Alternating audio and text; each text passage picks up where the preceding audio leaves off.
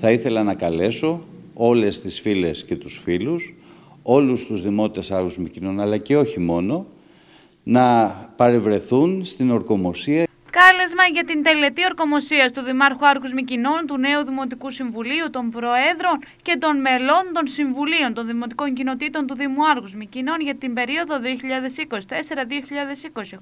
απίφθηνε ο νέος Δήμαρχος Άργους Μικοινών, Ιωάννης Μαλτέζος. Η τελετή θα πραγματοποιηθεί την Παρασκευή 29 Δεκεμβρίου και ώρα 12 το μεσημέρι στην αίθουσα Μέγας Αλέξανδρος. Θα γίνει την Παρασκευή στις 12 η ώρα το μεσημέρι εδώ στο στην αίθουσα του Μεγάλου Αλεξάνδρου.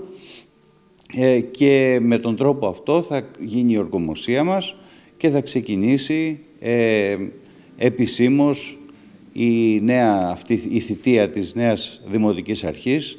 Θα ξεκινήσει μία πενταετία με προσπάθεια, με ελπίδα όμως και με αισιοδοξία για το αποτέλεσμα. Δεν είναι μόνο αντιπεριφερειάρχης, έχω υπάρξει πρόεδρος Δημοτικού Συμβουλίου στο παρελθόν, Έχω ε, χρηματίσει αντιπεριφερειάρχης δύο χρόνια και πρόεδρος του Περιφερειακού Συμβουλίου την υπόλοιπη θητεία μου. Κάθε μία, κάθε, από, κάθε μία από αυτές τις θέσεις έχει τις δικές της προκλήσεις, τις δικές της δυσκολίες, όλες όμως ε, συναπαρτίζουν μία πορεία αυτοδιοικητική η οποία μου έχει δώσει την εμπειρία, πιστεύω, την ανάλογη και την κατάλληλη για να μπορώ να ανταπεξέλθω στο αξίωμα του Δημάρχου. Ειλικρινά, είναι δύσκολο το να ε, είσαι δήμαρχος εάν δεν έχεις περάσει από τις προηγούμενες θέσεις.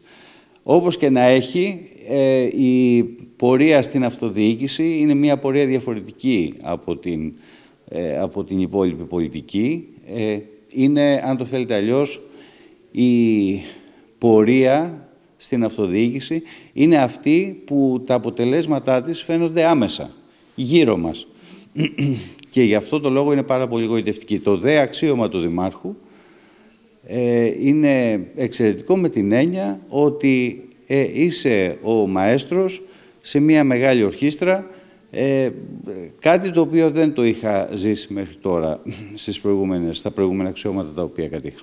Ο κ. Μαλτέζος έκανε ειδική αναφορά και στη σύνθεση του νέου Προεδρείου αλλά και στην ανάθεση θέσεων των αντιδημάρχων. Μετά την ε, εκλογή του Προεδρείου, το Προεδρείο, αν δεν υπάρξει κάτι διαφορετικό, ε, η συνεδρίαση θα οριστεί για την Τετάρτη, συγγνώμη, για την Τετάρτη, στις 4 Ιανουαρίου. 4 Ιανουαρίου.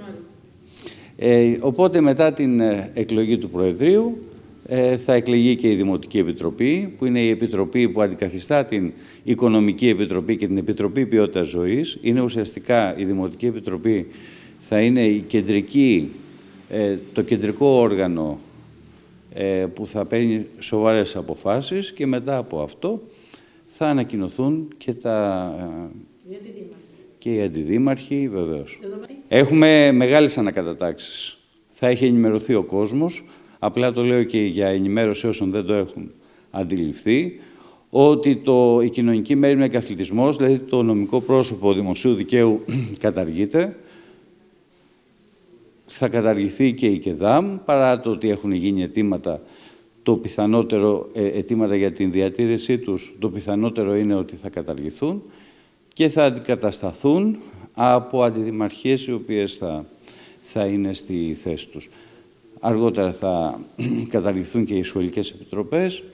Είναι, είναι αμφίβολο το αν θα συνεχίσει να υπάρχει ΔΕΙΑΡ με τη μορφή που ξέρουμε ή αν θα γίνει μια ε, ενοποίηση σε περιφερειακό επίπεδο.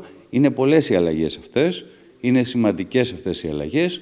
Όπως και να έχει, ε, θα τις αντιμετωπίσουμε.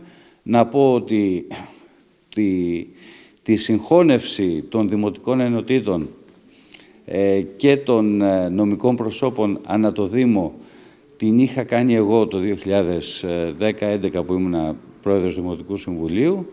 Ε, τώρα έτσι θα φέρνει η τύχη που το 2024 θα ξαναέρθει να τα κάνουμε, να αναμειχθώ ενεργά σε αυτό από, το, από τη θέση του Δημάρχου.